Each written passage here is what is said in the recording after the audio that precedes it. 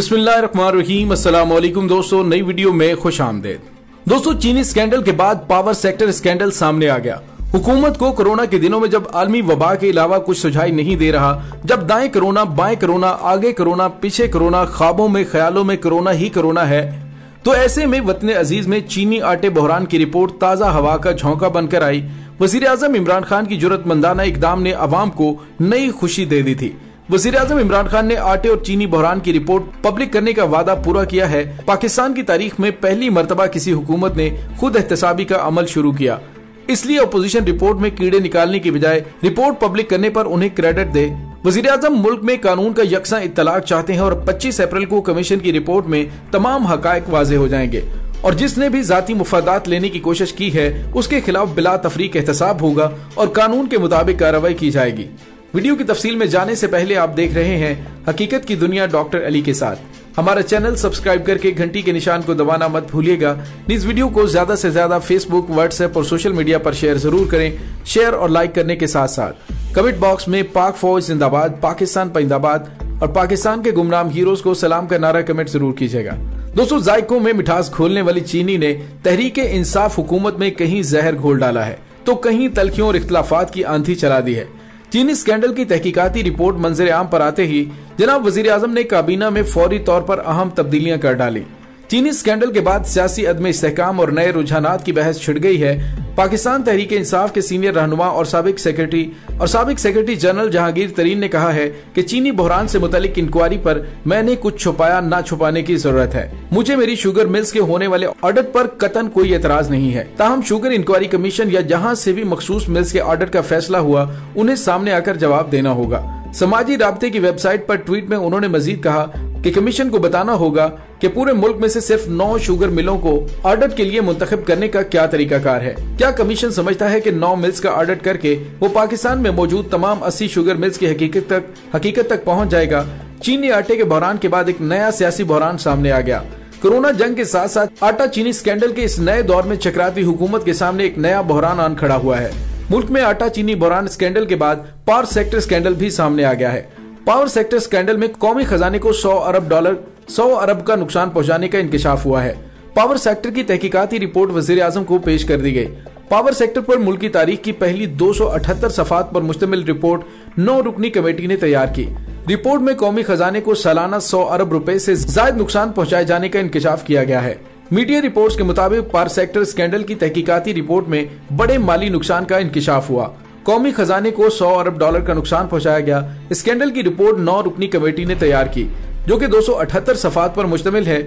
Inquiry report میں واضح کیا گیا کہ قومی خزانے کے نقصانات کی وجہ ٹیرف، فیول کھپت میں خورد برد اور ڈالرز میں گارنٹیڈ منافع ہے۔ انکوائری کمیشن نے پار پلانٹس کے ساتھ معاہدوں کو بھی غیر منصفانہ قرار دیا۔ رپورٹ میں حقائق بتائے گئے کہ انیس سو چورانوے کے بعد آئی پی پیز کے مالکان نے پہلی بار تین سو پچاس ارب روپے غیر منصفانہ وصول کیے۔ پندرہ فیصد منافع کمانے کی بجائے پار پلانٹ سالانہ پچاس تا ستر فیصد منافع کمانے میں ملوث تھے۔ اس طرح ہر پار پلانٹ کی قیمت میں دو سو سے پندرہ ارب روپے اضافی ظاہر کر کے نیپرا سے بھاری ٹیرف وصول کیا۔ اگر صرف ایک پار پلانٹ کی بات کی جائے تو صرف کول پار پلانٹ کی لاگت تیس ارب روپے اضافی ظاہر کی گئی۔ رپورٹ میں انکوائری کمیٹی نے پار پلانٹس مالکان کے ساتھ ادائیگیوں کا فارمولا ختم کر کے سو ارب روپے ریکور کرنے کی سفارش کی ہے۔ دوسری طرف جہانگیر ترین نے عمران خان کو براہ راست دھمکی دے دی ہے۔ ان کا کہنا ہے کہ میرے پاس ایک ایک چیز کا ثبوت ہے۔ کس نے مجھ سے کتنے پیسے لیے یا کہاں کہاں خرچ کیے گئے؟ ذرائع کا کہنا ہے کہ موجودہ سیاسی صورتحال میں اکثریتی رہنما محتاط ہو گئے ہیں۔ چپ ہو گئے ہیں، لیکن جہانگیر ترین نے کافی لوگوں کو میسج بھیجا ہے۔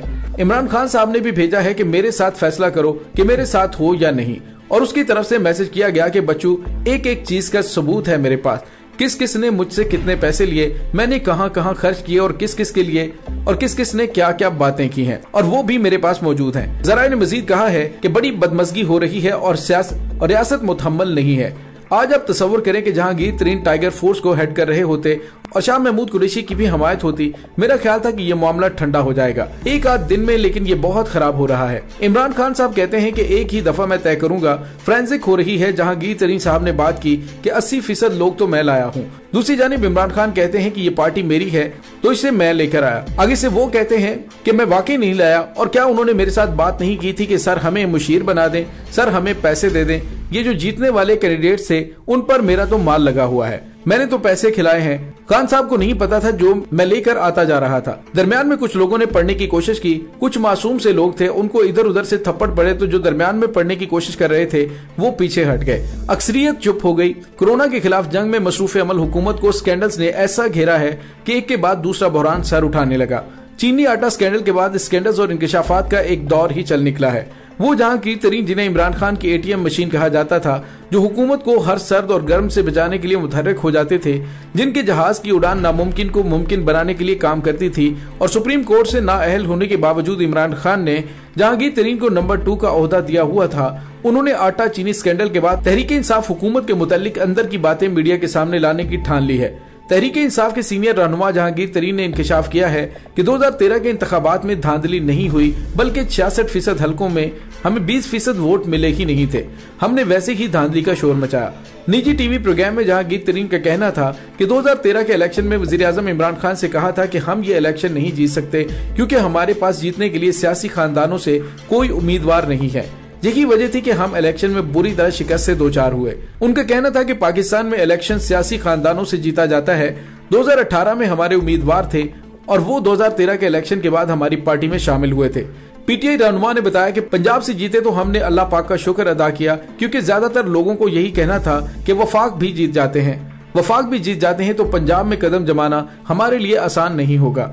بلکہ اس کے لیے ہمیں بہت محنت کرنا پڑے گی۔ لیکن اللہ پاک نے کرم کیا، ہم بہت اچھے مارجن سے الیکشن جیتے۔ اس سے قبل معروف صحافی نے دعویٰ کیا ہے کہ پی ٹی آئی رہنما جہانگیر ترین نے وزیر اعظم عمران خان سے ملاقات کے لیے کوشش کی، لیکن وہ ملاقات کے لیے تیار نہیں ہے معروف صحافی عبد القادر نے ویڈیو پیغام میں کہا ہے کہ وزیر اعظم عمران خان اور رہنما پی ٹی آئی جہانگیر ترین کے درمیان تعلقات بہتری کی طرف آتے نظر نہیں آ رہے۔ جہانگیر ترین نے وزیر اعظم عمران خان سے ملاقات کی تاکہ تفصیلی گفتگو کی جا سکے۔ لیکن وزیر اعظم نے ملنے سے انکار کر دیا ہے، یہ نئے بحران کی حکومت کے لیے کتنے بحرانوں کا پیش خیمہ ثابت ہوتا ہے، یہ تو وقت ہی بتائے گا۔